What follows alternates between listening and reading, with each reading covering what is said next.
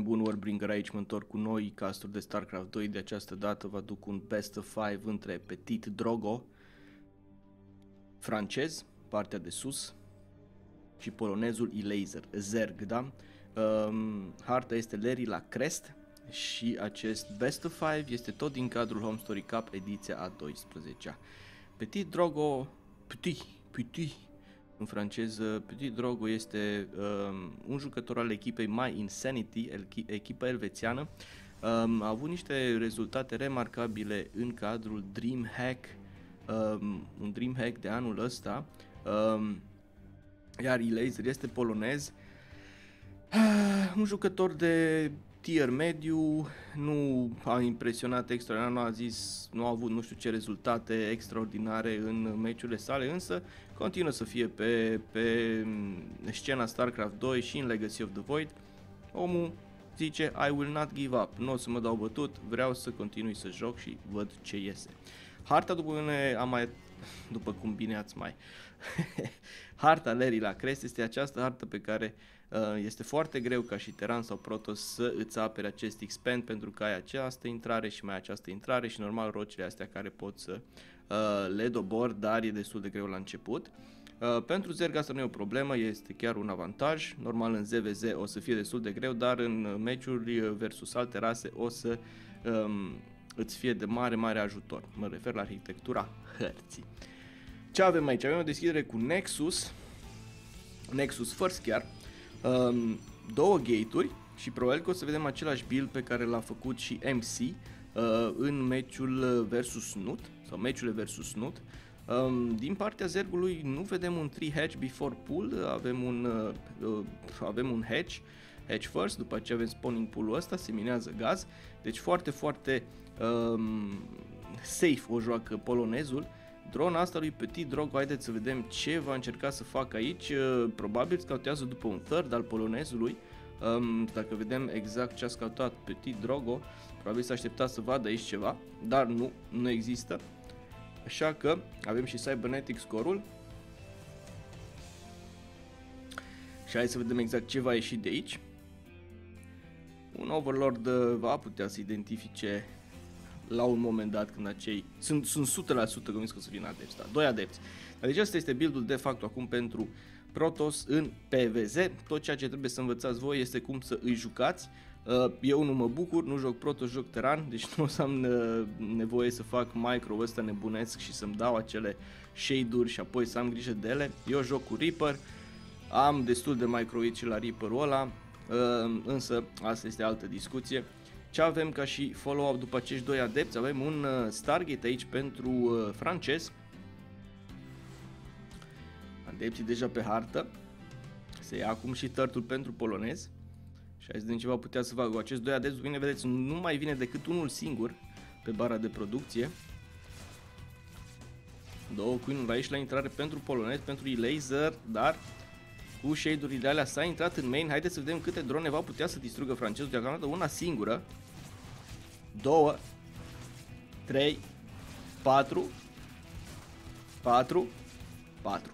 Doar atât. Speed-ul este terminat pentru acești căței, deci laser a putut să răspundă mult mai ușor uh, decât Snut.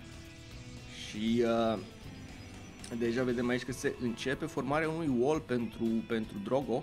Însă linge ăștia au alte idei, vor intra pe aici, de aia spun este foarte, foarte greu să-ți poți fortifica baza asta, însă hehe, photon overcharge acolo, doi adepți puși pe rampă, haideți să vedem dacă linge ăștia vor putea să obțină mai mult de un singur kill, o singură probă acolo distrusă de către linge lui Laser, se lucrează la acest uh, pilon, însă nu o să aibă mari șanse, overcharge pe pilonul ăsta și lingi împinși, o singură probă distrusă acolo de către polonezi, deci Petit Drogo în față, da? Oh, Jesus H. Christ. Jesus H. Christ. Avem oracle ăsta. Un kill, două killuri. Lucrurile ne arată bine pentru, pentru laser și uh, Petit Drogo este într-o um, situație relaxantă, aș putea să spun. Avem 5 uh, adepți plus un, uh, plus un oracle uh, pe hartă, oracle ăsta pe la mijlocul hărții. Um, a reușit să distrugă două drone acolo. Și uh, din partea lui Laser uh, doar lingi deocamdată. O, oh, avem 2 ore că aici pentru Drogo și acești adepți. Hai să vedem ce mai reușit să facă cu pușul ăsta. O să avem parte de un nou uh, build. Și să vedem cât de bun va fi. Și aidurile sau au fost trimise în main să vedem dacă le va lăsa să se teleporteze acolo. E, exact, asta se și întâmplă. cu inul ăsta va cădea cu siguranță un queen jos, se pune și un spine crawl în linia de minerale, însă vin și acești oracles. Ideea e să distrugă niște drone, însă există un, uh, un uh, spore crawler acolo din nou, sau s-au dus aici în uh, naturală. Între timp, laser încearcă aici un mic link run by, însă nu iese nimic acolo. Iar oracle ăștia nu prea mai au ce să facă în liniile de minerale. Există acolo spor, cronele peste tot, 10 drone, 10 uh, drone da, pe bara de producție pentru Eraser, se va drona la greu după acest prim push din partea Protosului. Și third aici pentru, pentru Drogo. Nu cred că va putea să pună ceva presiune Zergul deocamdată, se lucrează la rocile astea. Și uh, Elaser chiar ar dori să-și o a patra bază pentru că să fii la egalitate cu Proto sau Teran la bază niciodată nu este ok. Ai nevoie de economia aia ca să poți să aduci mai multe unități, unitățile tale sunt cele mai slabe din joc și ai nevoie de economia aia ca să bați celelalte două rase prin număr, da? Asta e ideea la Zerg. Să faci extraordinar de multe unități, nu neapărat foarte bune, dar foarte multe. De aia ai nevoie tot timpul de o bază în plus, să-ți permiți economia aia și să poți să pompezi în prostie unități. Normal, la Protoss, mult mai cost efectiv, mult mai tanky, dar mult mai scumpe, iar uh, la Terran eu zic că acele sunt cele mai cost efectiv unități. Pentru că ai medivecule acolo. Avem și un uh, follow-up cu Void Ray. După acei Oracles. Și se mai uh, scapă de un Overlord acolo. Nu mare lucru. Deocamdată jocul destul de, destul de liniștit. Avem acest uh, Void Ray pe bara de producție și la charge aici pentru Zelots. Și încă un gateway. De fapt încă 6 gateway, deci o să fie o explozie de gateway aici și agresivitate de pe ele. Însă au apărut acești roci, au apărut și Ravager ăștia să vedem dacă Oracle vor putea să distrugă acel Ravager, nu din păcate.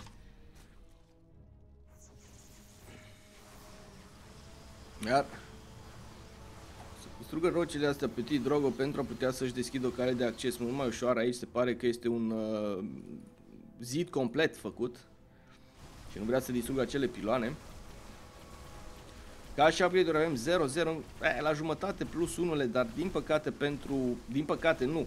Uh, Elaser ce a zis, ok, o să sar peste, peste acele upgrade-uri și toate resursele pe care le am o să le bag în acest Hydralis Den care se transformă în... Um, cum Dumnezeu se cheamă unitățile, am scap acum.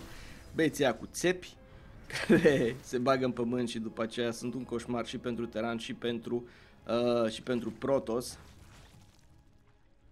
Lurkeri. Așa, s-a transformat în Lurker Den. În Lurker Den o să iasă chestia asta. Exact.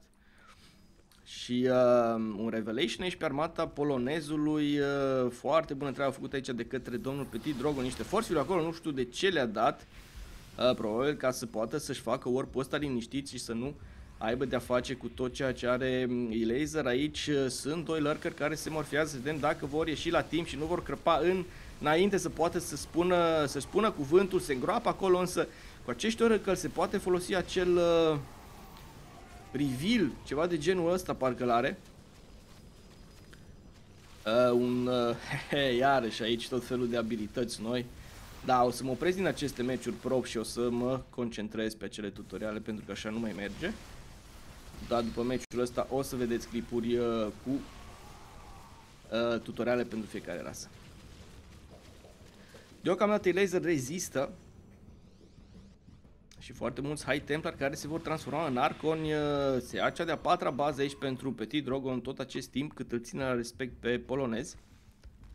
Însă se pare că sunt câțiva zeloți care vor pune presiune pe această bază și un War Prism încărcat cu, cu zero. Ăștia încă Petit Drogo joacă la stilul de le, Heart of the Swarm în loc de adepți bagă zeloți în acel War Prism. Se încearcă aici uh, puțin hărez la baza asta, 3 roaches identifică faptul că uh, Protosul și-a luat cea de-a patra bază iarăși. Elaser tot timpul cu un pas în urmă în meciul ăsta. Hai să vedem acest angajament. Un singur lurker reușește să se, să se îngroape acolo și uh, Protosul nu are o armată extraordinar de mare, Barconi ăștia foarte, foarte tanky. În schimb, avem uh, Chess War Priest Hres și pe lângă acei uh, Zelot s-au mai făcut uh, Warp lângă câțiva. Iar acest Sesh va cădea cu siguranță nicio șansă pentru Laser să reziste acolo. Avem și Disruptorii pe bara de producție, încep și ei să uh, fie construiți. Iar uh, Zergul nu cred că va putea să, câștigă, să câștige acest match uh, sub nicio formă. un lurker aici care va ține Selnagaul ăsta și cât cât de enervanți. Sincer aș uh, considera că e mai util un uh, Oracle în loc de acest observator de, în, uh, în meciul ăsta pentru că observatorul foarte încet, foarte fragil, ai nevoie să-i faci un upgrade pentru a putea să-i mărești viteza. De aceea spun că mi-ar plăcea să văd în compozițiile astea, mai ales în PVZ, un Oracle în loc de acest observator și cu reveal-ul ăla să poată să descopere toată zona în care activează armata Protosului. Cade acolo un Disruptor, mare, mare păcat. War masiv de Zeloți ca să câștige ceva timp până când armata asta de pe mijloc va putea să intre în luptă. O, oh, acești lurker destul de nasol prinși. Și hai să vedem bătălia asta, nu cred că va, vor fi probleme foarte mari pentru, pentru Petit Drogo între timp. Aici uh, un Zelot Res foarte frumos, joacă francezul, sunt trupe și în această bază lui uh, Drogo. Mai cade acolo un Disruptor, dacă a fost atenți pe fază. Însă, da, armata asta o să fie obliterată. Și între timp, cea de-a patra baza lui Drogo a intrat în funcțiune un pic de heres acolo cu, cu acești roaches, însă zeloții ăștia vor putea să curețe baza asta și Laser arată în, îngrozitor în meciul ăsta. A fost cel mai bun început pentru el, însă și lurkerii ăștia sunt uh, curățați, deci Oh, doamne, 0, 0 damage din partea Zergului și uh, în curând uh, Protosul va ieși pe hartă pentru a anihila ce mai există din armata Zergului. Din păcate am uitat să deschid acest uh, tab cu numele și supply-ul, vedeți 133 la 105, îmi cer scuze pentru acest lucru. Hai să vedem aceste bile de plasmă, bun așa, cade un lurker tot timpul, e ok să cadă un lurker acolo. Avem și un uh, Photon Cannon în linia asta de minerale, dar sincer nu cred că Zergul va mai putea să aloce trupe pentru a pune presiune pe această de-a patra bază lui Petit Drogo. Nicio șansă.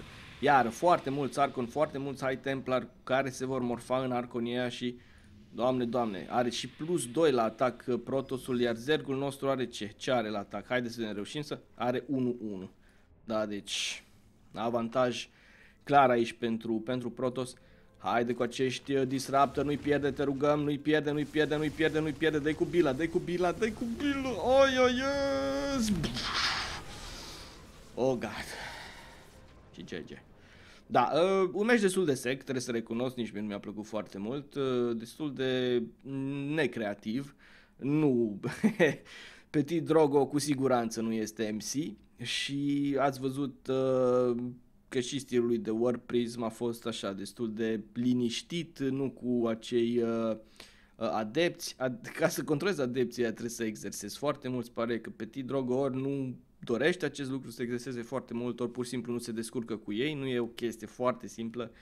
Să ai grijă și de shade-urile să te uiți la ele, să vezi dacă merită să lași teleportul să se întâmple sau să dai escape și să rămâi cu adepții în poziția din care ai dat shade-urile alea să plece.